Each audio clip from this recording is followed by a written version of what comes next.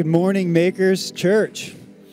Uh, it is so, so good to be together. I had the wonderful privilege to uh, meet several of you that are here for the first time this morning. And if I haven't yet, uh, welcome. We're so glad that you're with us. My name's Derrick. I serve here as our lead pastor. And uh, we're just so glad to be together. Whether you've uh, been around for a long, long time or here for the first time or coming back to visit every, every time you're in town, we're just so glad that you're here.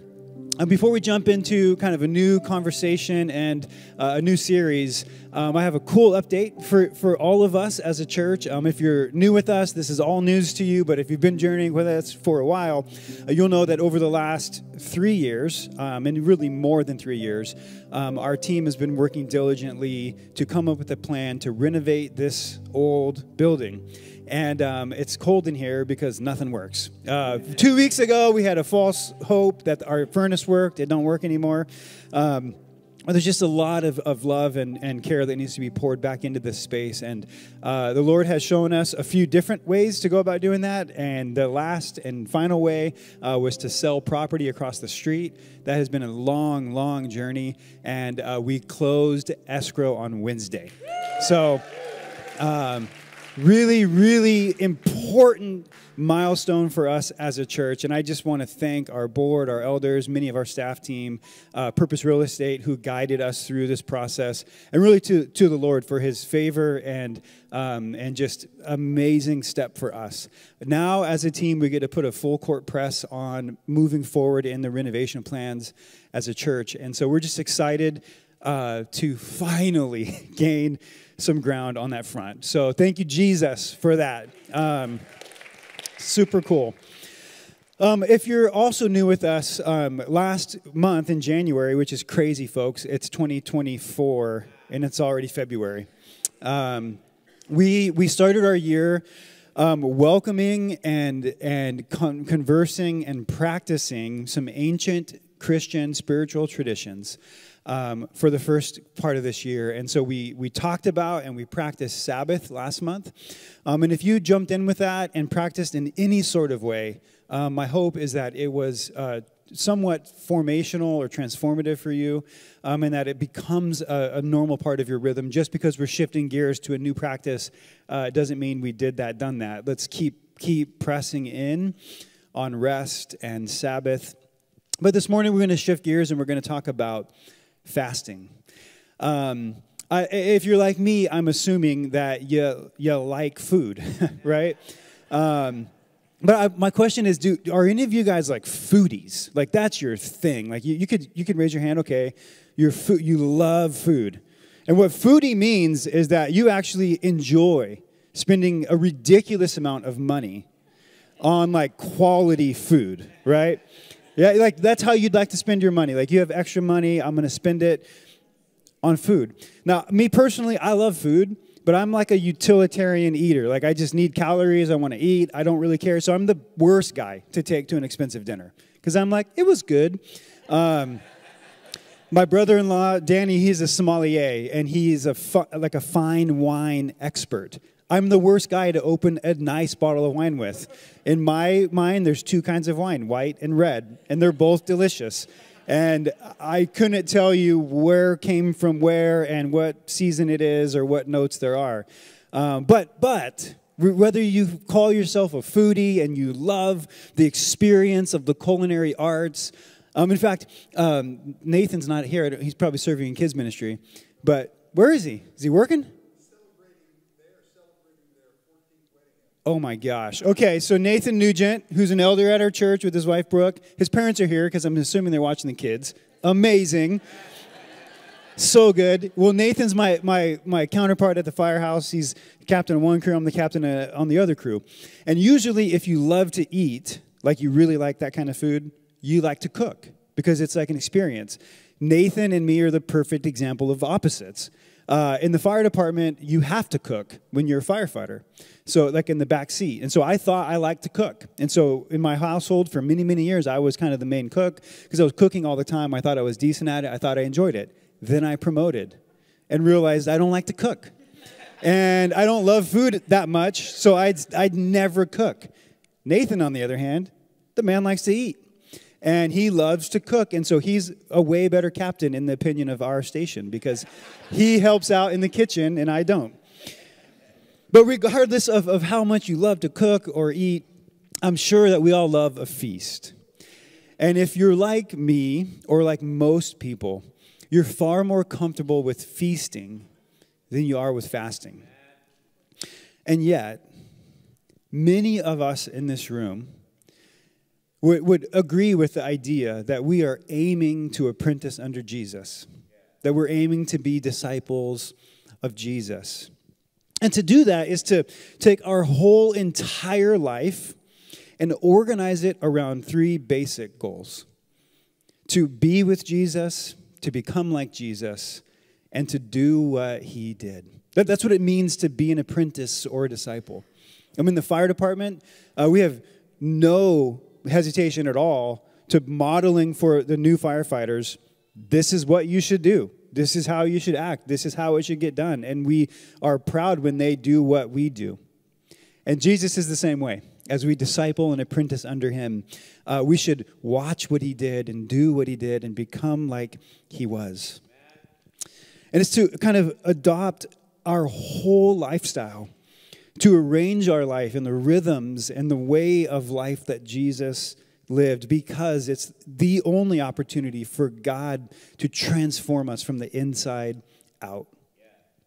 And so, if we look closely at the, at the life of Jesus through the scriptures, we, we'll see really quickly that Jesus feasted in fact, in, in, in Matthew 11 19, it says this about Jesus. It says, The Son of Man came eating and drinking.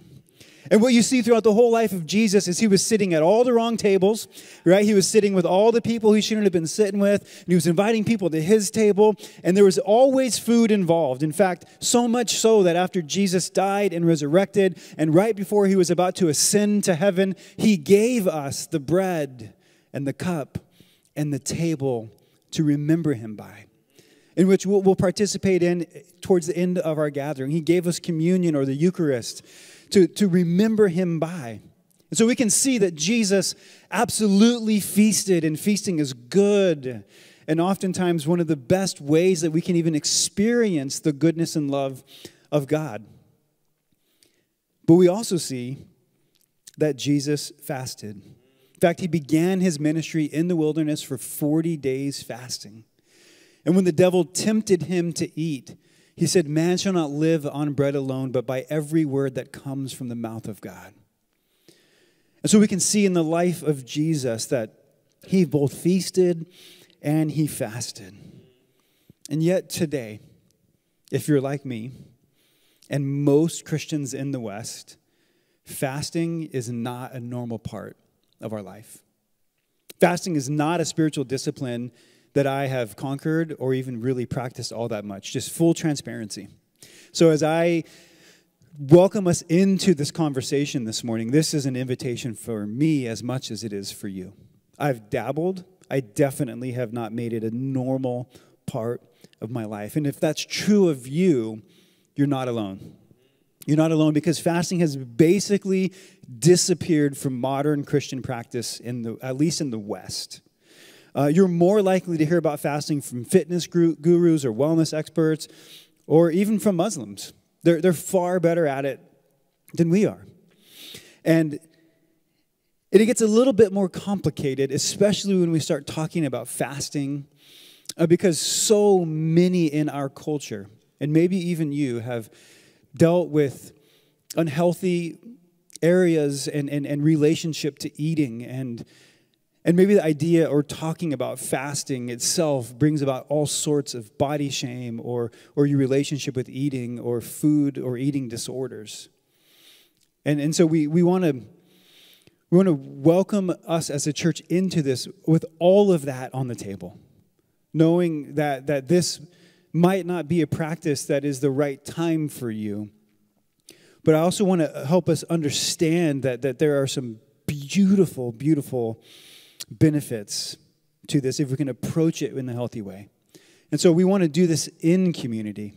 And we want this to be a safe place where you can talk about and be honest about and journey together with folks who have maybe had unhealthy relationships with eating. There are some people who are far ahead in their in their healing, and there are some of you that that really need help along the way, and we'd love to help partner with you in that. And all of that being said, all, all of that being said, what, what if we're missing out on one of the most important practices of Jesus? through fasting. We see this in Matthew 6 in the Sermon on the Mount. I've said this many times, I say it again. If I had to rip three pages out of the Bible and only had them uh, accessible for the rest of my life, it would be the Sermon on the Mount. It's, it's Jesus's best hits. It's, it's, it's, it's, the, it's the, the most beautiful, poignant, potent uh, words of Jesus that, that we can find in the scriptures. And in Matthew 6, 16 through 18, he says this about fasting. He says, When you fast, do not look somber as the hypocrites do, for they disfigure their faces to show others they are fasting. Truly, I tell you, they have received their reward in full. But when you fast, put oil on your head and wash your face, so that it will not be obvious to others that you are fasting, but only to your Father who is unseen, and your, and your Father who sees what is done in secret will reward you. Now, there's two, two things I want you to kind of take a look at in this passage that they jump right off the page to me. First, it says, when you fast. And it's, it's clear that Jesus assumed that his apprentices, that his disciples would be those that fasted. He just he didn't say if you fast, he says when you fast. And then he also says this that your Father in heaven sees you and he will reward you. And what he's promising, what he's saying is that there's a gift on the other side of this practice. And still, most followers of Jesus in the West don't practice fasting. But we used to. We used to. So here's just a brief history of, of kind of the church's or the Christians' relationship with fasting. Um, first of all, fasting is part of every major world religion that there is Buddhism, Hinduism, Islam, uh, many even um, like indigenous rich, uh, religious practices, uh, Christianity. It, it's a common spiritual practice across all religions in the world. But the first mention of it, the first mention of it we find in the Hebrew scriptures about Moses on Mount Sinai as he fasts for 40 days. And and then he, he's, it follows up in the scriptures with this commandment for all of Israel to fast on the Day of Atonement, or what many of you have heard called Yom Kippur. And, and that's kind of the first time in, in any religious text we see or hear or see modeled fasting. And there's stories all throughout the Old Testament Moses and David and Samuel and, and Esther and the prophets, uh, just so many stories of them participating in this practice. By the time of Jesus, it was a common practice for Jewish people to fast twice a week. Just absolutely normal part of the rhythm of life. And they would fast from sun up to sundown twice a week. For the Jewish people at the time of Jesus, and still to this day, it was Mondays and Thursdays. And the early Christians continued this practice for like a millennia and a half. Like without any, there was no questions about it. In fact, this is so interesting to me. In the Didache, which is kind of the first Christian writing that we see outside of the New Testament, uh, fasting was commanded on Wednesdays and Fridays, and for two full days before baptism. Um, almost all of the church fathers taught on it. Uh, and the first Christians took it very seriously. And we see this uh, from 380 AD called the Constitutions of the Holy Apostles. It says this If any one of the clergy be found to fast on the Lord's day or on the Sabbath day, except one only, let him be deprived. But if be one of the laity, let him be suspended. Meaning, fasting was so widespread that they had to regulate it. Like, could you imagine that? Like, you're fasting too much on the wrong days, don't do it. Right? Um, the only day that he's talking about is, is actually Silent Saturday. It's the day between uh, Good Friday and Easter Sunday. And that was the one day in kind of Christian tradition that fasting was allowed on Sabbath. uh, to help us and our bodies and our minds kind of experience the, the full sacrifice that Jesus gave for us on the cross. So it's regulated, it's like highly regulated in the life of the church. Lent, which is the six weeks leading up to Easter, many of you have kind of heard about it, dabbled about it. Most of you might know it by like Fat Tuesday or kind of like the, the kind of cultural you know response to lent but the actual lent the beginning of, of, this idea was 40 days of fasting from morning till evening for 40 days except for sundays. Sundays were considered little mini easters little mini days of resurrection along the way. Um, most of us now in, in church traditions especially around lent um, it's not fasting from food specifically. It is like you give something up for Lent. That's kind of like a common thing. Um, like you might give up meat or you might give up technology or something like that. And that's a beautiful thing. Um, but if we're going to compare that to like the ancient Christian practice, um, that's actually not fasting, it's, it's abstinence. And abstinence is also a, a very well known, very commonly practiced uh, spiritual discipline. It's just different. It's good, and there are so many of us that could probably benefit from a digital abstinence or uh, technology, you know, social media, what many would call fast. Um, but in the original kind of practice, it was just specifically about food. And, and so, what we can see here, and just kind of by showing you the history, is, is that uh, in the history of the church, there were both regular days of fast, uh, Wednesdays and Fridays, and then there were uh, longer periods of fast like Lent. Um, and they were super, super common. And that's changed. That's changed. Um, it started to die out after about a millennia and a half. Why? Uh, we, see, we see this uh, also by John Wesley. He was the founder of the Methodist Church. He says this this is in the 18th century. He says, I fear that there are now thousands of Methodists, so called, uh, both in England and Ireland, who, following the same bad example, have entirely left off fasting, who are so far from fasting twice a week that they do not fast even twice a month. Could you imagine? You know who you are. Wesley religiously fasted on Wednesdays and Fridays, like all of the early Christians did, and he refused to ordain any pastor to the ministry who didn't do the same. And you think coming to church is hard. now, I'm not saying I agree with all of that or that's the way it should be, uh, but the whole point I'm trying to make is that Christians used to fast.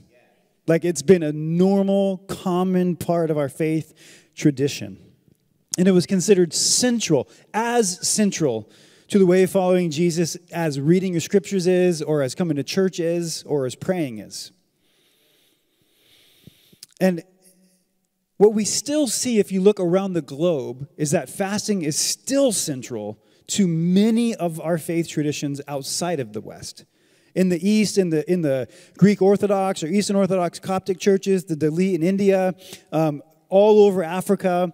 Um, it's still a very, very common practice, so much so that it's even still a, a major part of the tradition in the African American church. And has, February is Black History Month. It's a time for us to celebrate, to learn, to observe uh, the history of of not just the church in America, of the black church in America, but of, of the African American tradition. And fasting is one of those unwavering things in many of those faith traditions that we can learn a lot from. And if you look across the tapestry of history and of the Christian experience, fasting is one of the most essential and powerful of all of the practices of Jesus. And it's arguably the most single neglected one in our modern kind of Western church. Is anybody feeling indicted yet? Because you, sh- you shouldn't. Um, and if you do, then I should feel as indicted as you. I want you to listen to this from St. Basil the Great. Um, it's also on our Instagram this morning. Thank you, Shalise um, if you need to revisit this quote, but it's so powerful. Fasting gives birth to prophets. She strengthens the powerful. Fasting makes lawgivers wise. She's a safeguard for the soul, a steadfast companion for the body, a weapon for the brave, and a discipline for champions. Fasting repels temptations, anoints for godliness. She is a companion for sobriety, the crafter of a sound mind. In wars, she fights bravely. In peace, she teaches tranquility. That's good. And so we can see throughout the chorus of the saints and the history and the people of Jesus and the tapestry of Christianity that fasting is powerful. So I just want to talk about the basics, right? Because sometimes we can talk ethereal or we can prove that it was, but should it still be? Just want to talk basics for a moment. First of all, what is fasting? And so let's start with what it's not. It's not abstinence. Once again, abstinence is a beautiful spiritual discipline, uh, one that many of us could benefit from greatly. But you'll hear people a lot. In fact, I I'll call them out. So, so Park Hill Church, love Park Hill, love Evan. Evan's a great, great, great friend with uh, John Mark Comer, who founded Practicing the Way, who's developed all this content that we're going through. They're doing a 40 day digital fast for Lent. Uh, and I, so I texted him, I'm like, hey, dude, your boy, John Mark, says the Christian tradition says you can't fast from technology. Are you guys going to go toe to toe? Like, can we get a, or like, like, can we throw down here um, on this fight? And so, guys, we don't need to mince words or fight over things, but, but, but probably the more proper way to talk about like turning your phone off or, or doing things would be really historically to call it abstinence, right? Um, you, you also, and I'm not trying to beat anybody up. I, I promise I'm not. But like the, you may have participated in or heard about like the Daniel fast, right? Or some other like kind of trendy fast that, that people can participate in. Also, kind of a mislabeling of words because the Daniel fast was, I've never done it, but was just eating vegan, fruits, vegetables, eating vegan diet. Um, that's not fasting because you're eating. Still a wonderful thing. That's actually that's actually just called a restricted diet, right? Um, which is also great. Like there are many things that, that we could benefit greatly from, both physically and spiritually, from re- restricting our diets from, right? Um, and so I'm not, not trying to beat that up. That's a good thing. But at, the, at its, to answer the question, what is fasting? At the most basic definition, it's not eating food. That's what fasting is uh, just to help us with, with absolute clarity. Um, in normal fast, you drink water, although there's some experiences uh, in the scriptures that talk about fasting from both, um, but, but it's about not eating food. So then the question is how long? How long? Actually, I feel like I should confess something. Um, earlier, I said, you know, you can hear more about fasting from like fitness gurus and wellness experts. And um, not gonna lie, I gained a couple pounds. My, my pants got a little bit tight and I was looking for a way to change that. And intermittent fasting is one of the most proven ways uh, to do that. And so I've been intermittent fasting for a while, and um, that is not a spiritual act. Unless you make it one, which you could, but that's like that's a different. There's a different why behind it, which we're going to get to. Okay, so like I'm a I'm a big proponent of intermittent fasting. If you want your pants to fit, um, but this is this is different right? How long? If you say, okay, I want to follow Jesus in the way that he lived, and I want to follow the history of all the church tradition, and I want to fast, uh, I know what it is, it's not eating. How long should I not eat? The most common, the most common is a not eating for from sun up to sundown for a day. That's like the most common. And that might sound impossible for you. Um, and that's okay. Uh, but that's kind of just the most common example. However, in the scriptures, there are examples and stories of two day and three day and seven day, 21 day, 40 day fast, right? That sounds impossible uh, to me. But it, it doesn't, the, the, question of how long, um, whatever, you, whatever you want to make it. Um, when? When do we fast? Like, when is the right time to fast? I want you to hear this this morning. Nowhere in the scriptures, nowhere in the life of Jesus, nowhere in the in the in the early part of the church, church fathers, nowhere other than in the Didache and some other stuff. It's not commanded. It's not required. It has no bearing on your salvation or anything like that. It's not required. So the question of when do you fast, it's up to you. Uh, there see two ways of, of responding to fasting. One is in rhythm, like finding a day or two days a week or whatever day that you would want to incorporate that into your life.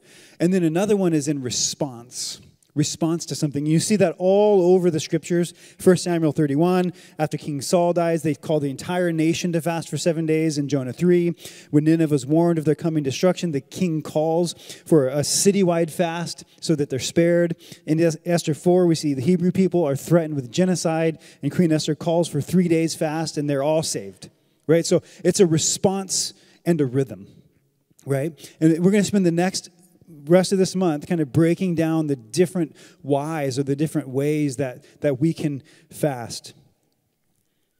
But my point is, is that it's both rhythm and response. Do we fast in community or alone? And I know what you're thinking.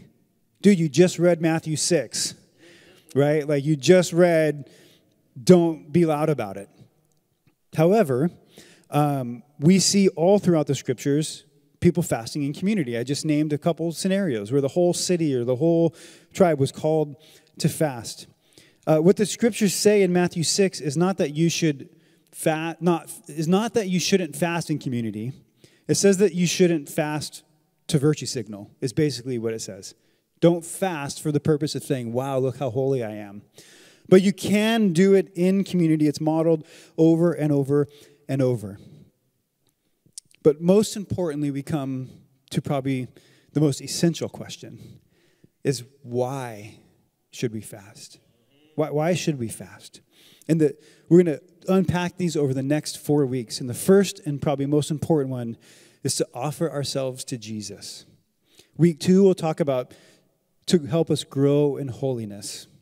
Week three, we'll talk about to amplify our prayers. And week four, we'll talk about to stand with the poor. And we'll unpack all of that and, and we'll, we'll try to make some sense out of those four reasons for us to fast. But the most important is to offer ourselves to Jesus. And the early Christians practiced twice a week and they, they shifted the schedule, right? Uh, the Jewish folks went from went on Mondays and Thursdays. The early Christians decided to shift the days. They kept the practice, they shifted the days to Wednesday and Friday. Because Wednesday is the day that Jesus was betrayed, and Friday was the day that he went to the cross. And we see that the Christians weekly remind themselves of the truth and the power and the story of what Jesus came to do. And ultimately, what they entered into is what the New Testament writers called participating in the sufferings of Christ. Right? This is we see this all over the New Testament that we as Christ followers that we would participate in his suffering. And so they were intentionally adopting that pattern and a desire for Jesus. And this is the ultimate reason to help us grow in hunger for Jesus, to grow in hunger for transformation. Uh, John Piper calls fasting whole body hungering for God.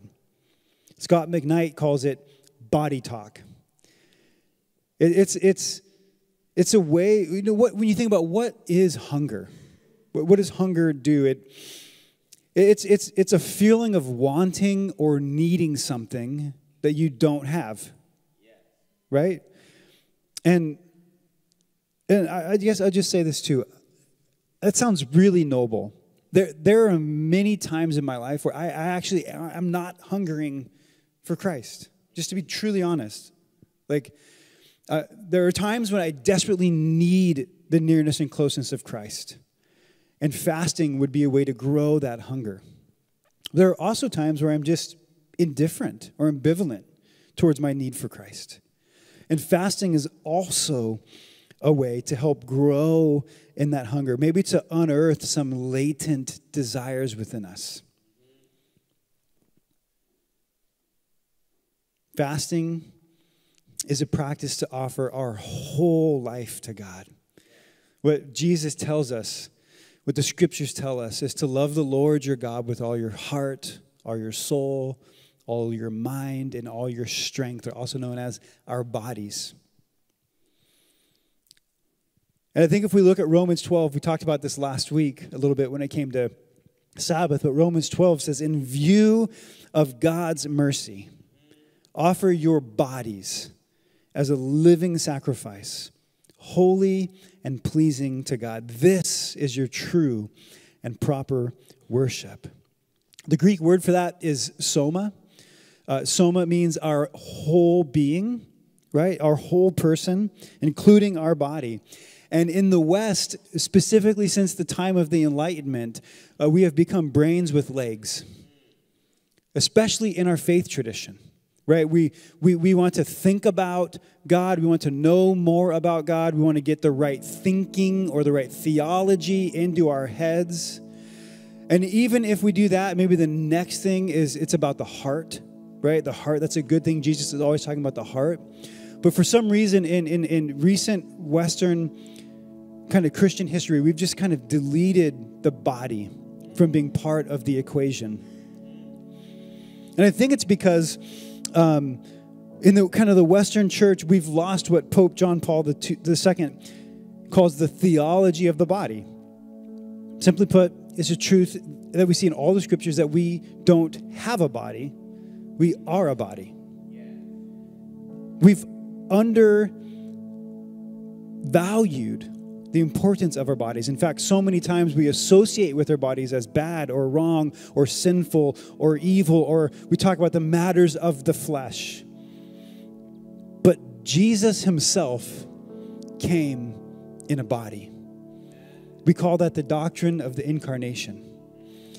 Jesus himself resurrected from the dead into a body.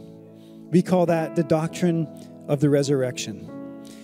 And the hope that we are waiting for as people of Jesus is not to just celebrate that he came, but that he's also coming again. And when he does, he's bringing a new heaven and a new earth, and he is resurrecting all of us into our bodies, that we too will be raised from death to life.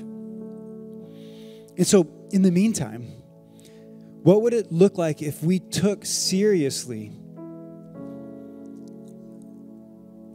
our bodies. 1 Corinthians 6:19 says your bodies are temples of the Holy Spirit who is in you. Therefore, honor God with your bodies. So your body's a temple, it's a dwelling place. And therefore what we do with God it matters. It's it's the sphere where our discipleship unto Jesus gets real. Where it's not just an idea or a feeling but we're, we're called our entire being into the way of Jesus. One way to think about apprenticeship or discipleship is it's a disciplined attempt to get the teachings of Jesus into our bodies, into our self, into our neurobiology, into our muscle memory. So that when confronted with various situations or challenges or circumstances, that what might come out of us is what we've put into us. And fasting is perhaps one of the best ways to get the teachings of Jesus into our bodies. Romans 12 says that we do this in view of God's mercy, meaning we do this because of all that He's done for us. We fast for all sorts of reasons. We'll discover those in the next few weeks. But the primary reason we fast is not to get something from Jesus, but it's to give something to Jesus. It's what the scriptures call worship, affection, devotion. So I'll end with this. Jesus assumed that his disciples would fast. It's never commanded by him by any of the church fathers. They all did fast, but they never laid down a regimen to follow or some religious ritual for us to be obedient to. You don't have to fast, it's not required. But Jesus fasted, and he said, Come and follow me. And all of these practices, like Sabbath and prayer and fasting, they're, they're how we follow Jesus. How we open our whole person to his grace and his transformation. So I just wonder for us, in true curiosity, what would happen if or when we chose to practice this discipline? Not to give ourselves to the practice, but to give ourselves to Jesus through the practice. What would shift? What would be formed and transformed inside of us? My hope, my belief, my trust is that we would fully experience the reward on the other side, which is Jesus Himself. Would you pray with me?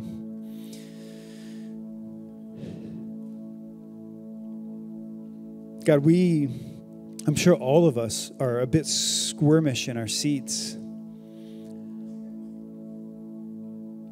Maybe curious or provoked, maybe even guarded.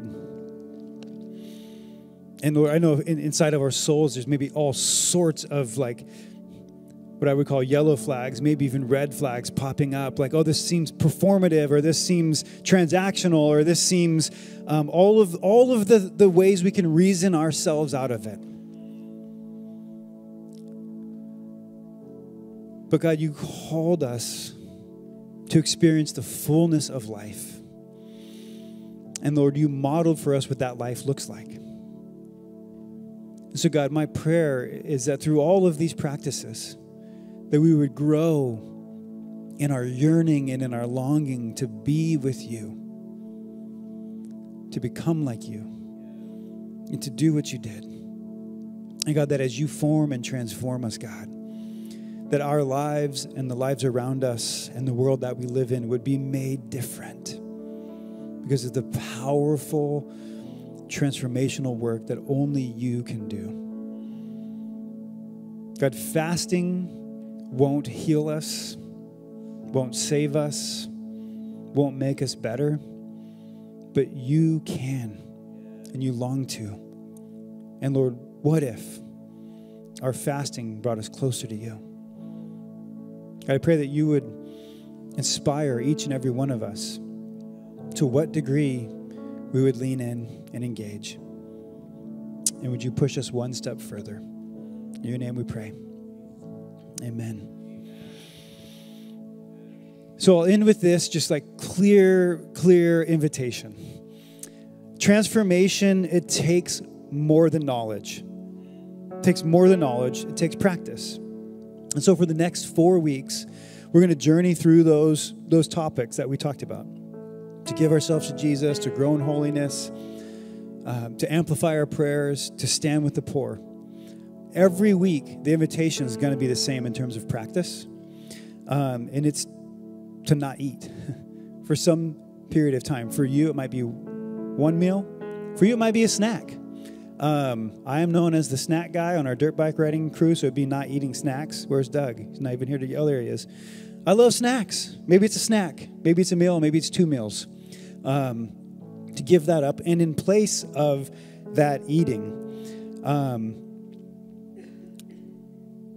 to allow those hunger pangs and those uh, just your own awareness of your own body to drive you closer to Jesus. Now, there's a lot more practical ways to invite you into this. Um, and we would love for you to jump into our digital community that resources you with a guide and some videos. And uh, there are physical communities that are gathering that you can journey together with through this. So, the simplest way to get involved in any of that is to text the word makers to 97000. If you respond with the number one, it will opt you into uh, the, getting our into our digital group where you can get the companion guide and the videos and all of the content. Um, and then if you join a community, uh, I don't know what that number is, but you'll see it. Um, any community at our church that says PTW in the front is a community that's committed weekly to going through this together, practicing together, and talking about the way that's going. So we would love for you to come on the journey with us and uh, pray that you'd be transformed through it. Would you stand and uh, sing with us? You are listening to the Makers Church podcast. For more